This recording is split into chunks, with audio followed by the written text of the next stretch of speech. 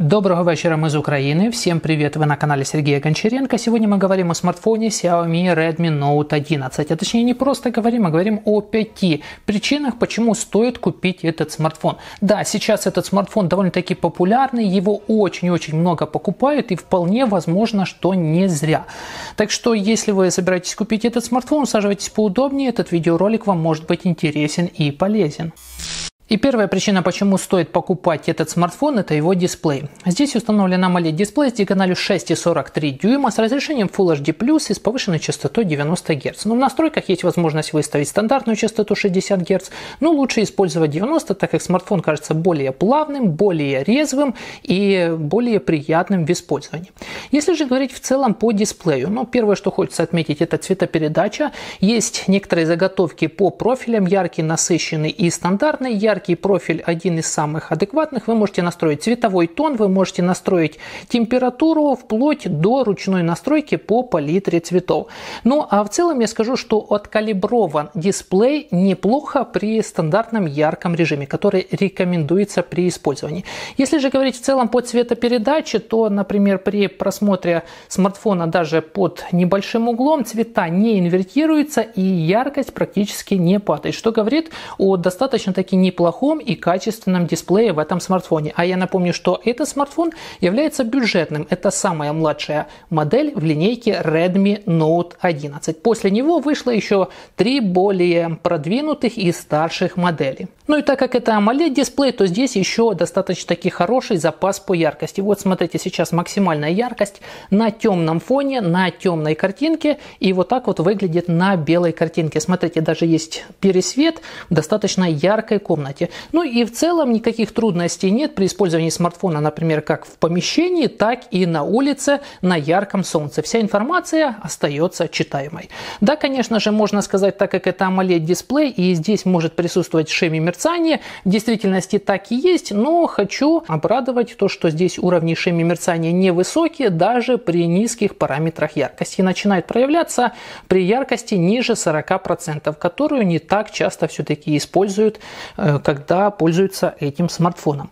Ну и плюс ко всему, так как опять-таки это AMOLED дисплей, то здесь присутствует еще и Always On Display. Информация выводится на дисплей, что довольно-таки удобно и интересно. Вторая причина, почему стоит покупать Redmi Note 11, это его автономность. Здесь установлена батарея емкостью 5000 мАч. Прежде чем я буду показывать вам все тесты, скажу, что я смартфон использовал всегда по максимуму, никогда не экономил. Частота дисплея была установлена 90 Гц и всегда использовал светлую тему. Ну а теперь скриншоты и реальные примеры. Вот смотрите, сейчас смартфон разряжен до 10%, проработал он 22,5 часа, то бишь полные сутки, можно так сказать, да, и дисплей Дисплей при этом работал 10 часов 55 минут. То бишь практически 11 часов за одни сутки использования. Это ну, практически феноменальные или очень-очень хорошие показатели по автономности. И еще один пример в реальном использовании на сейчас, на сегодня. Итак, остаточный заряд 50%, смартфон проработал 7 часов 52 минуты, то бишь 8 часов. Дисплей при этом проработал практически 6,5 часов. Если учитывать эти 50%, то можно добиться ну как минимум 10 а то и примерно 11 часов работы дисплея и полноценного рабочего дня. Я скажу так, это очень-очень хорошие показатели по автономности и в среднем вы сможете рассчитывать от 8 до 10 часов работы дисплея и примерно полтора дня активного использования этого смартфона. Ну и плюс ко всему, смартфоном в комплекте идет быстрое зарядное устройство с мощностью 33 Вт и с помощью этого зарядного устройства смартфон заряжается с 0 до 100% за 1 час 15 минут. При этом за первые 30 минут он уже заряжается с 0 до 49%, то бишь 50% за 30 минут. Довольно-таки неплохо. Третья причина, почему стоит покупать этот смартфон, это наличие всех самых нужных и необходимых портов и разъемов. Если посмотреть на смартфон, то на нижней грани вы увидите микрофон, Type-C, динамик. На правой грани кнопка питания, она же совмещена с сканером отпечатка пальцев, немного выше качелька регулировки громкости. На верхней грани расположен дополнительный микрофон для шумоподавления, инфракрасный порт для управления бытовой техникой и электроникой, еще один динамик, к которому мы, наверное, вернемся немножко попозже, 3,5 мм джек для подключения проводных наушников, что сейчас, в принципе, очень хорошо, и во многих случаях это даже редкость. Ну и на левой грани расположен сим-лоток, и это полноценный сим-лоток, в который можно одновременно устанавливать и две сим-карты, и карту памяти microSD, что очень-очень хорошо. Например, вариант по памяти можно выбрать в самом смартфоне на 128 и дополнительно установить еще карту памяти на 128 или 256. То есть по максимуму расширить память вашего смартфона. Ну и плюс ко всему на лотке под сим-карты есть дополнительная резиновая прокладка, которая будет защищать ваш смартфон от попадания пыли и влаги внутрь смартфона. Настолько я знаю, здесь стандарт защиты пыли влагозащиты заявлен IP53 – это защита от попаданий, брызг и дождя. Четвертая причина, почему стоит покупать Redmi Note 11, это его звук. В смартфоне установлено два динамика, на нижней грани один и второй на верхней грани. И это стереозвук, стереодинамики. В действительности звучит смартфон неплохо, достаточно таки громко. Ну и давайте попробуем по максимуму, насколько это возможно. Вот микрофон камеры, расстояние 25 сантиметров от смартфона примерно. Включаем давайте максимальную громкость и аудио.